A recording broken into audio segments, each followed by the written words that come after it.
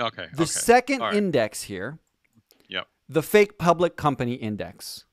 Right. Okay. Good. Like this Facebook, one's right? super easy, okay? This these are Mhm. companies that are basically 50% owned, the voting power is 50% owned by someone else.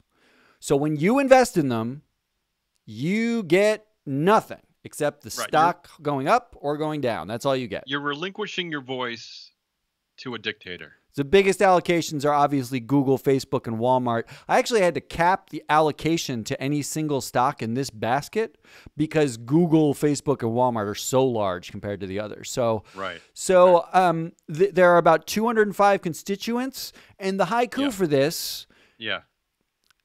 did an IPO. Thank you for your mounds of cash. Now get off my lawn.